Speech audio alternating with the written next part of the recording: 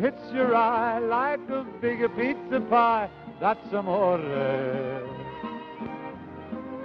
When the world seems to shine like had. Hey, thanks for joining me. Ciao.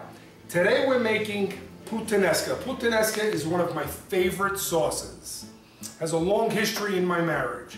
Anyway, today I'm putting a little spin on it. I'm making puttanesca raw, which means instead of the canned tomatoes, whole tomatoes, I'm using heirloom tomatoes that are in season and very, very sexy, because everybody knows tomatoes are hot. So the first thing I'm gonna start doing is start dicing my tomatoes. Look at the color of this. I mean, if we eat with our eyes, we are in for an absolute feast. They look spectacular, and they actually taste like a tomato. How cool is that? A tomato tasting like a tomato.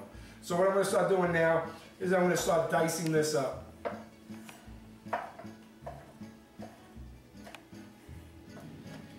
Okay, so we have our tomatoes diced. Look at that beautiful orange tomato and a red purple tomato. Looks absolutely amazing.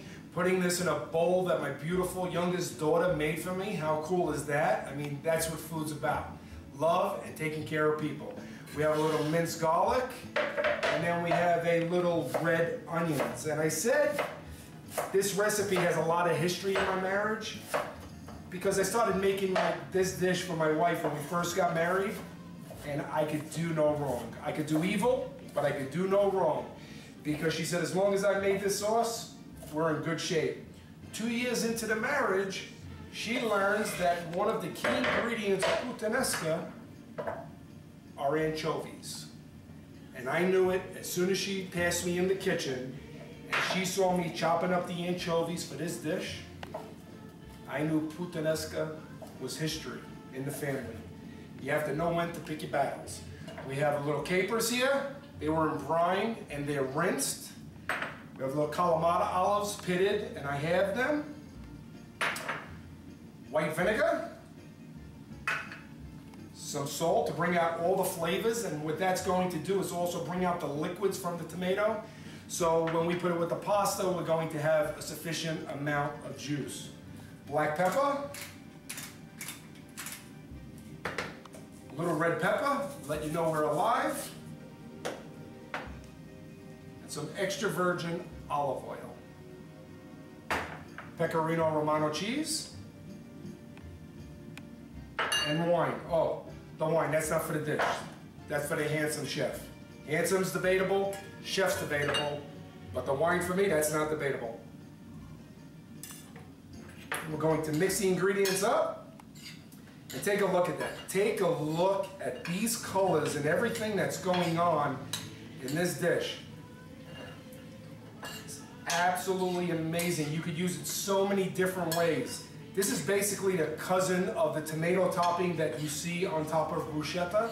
So this is absolutely amazing. What I will do here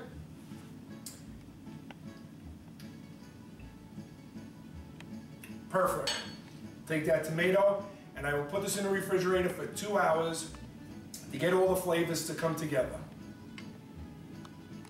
Okay, just drain the spaghetti, put it in a bowl, and that's a bowl that my parents brought me back from Italy. So I got a bowl that my parents brought me back from Italy. I have my tomato here in a dish that my daughter made for me. I mean, can it get any better? This tomato topping, you don't have to use it over pasta. I don't know why you would. But you could put it over chicken, beef, salad, vegetables. I mean, it is so versatile. You could absolutely go crazy with this. So I'm putting that over the spaghetti. Then going to give a nice toss. And do you see the colors in this bowl? Like I said, we eat with our eyes. And I'll smell first. And then we get to taste it. I almost don't even have to eat this, I'll be satisfied. Ah, I know. People who know me, you know that's a lie. Okay, we got a little in the bowl here. A little more. A little Romano cheese.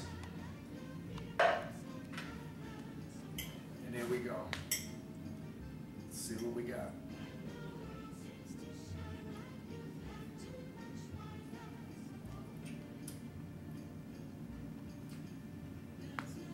Absolutely amazing.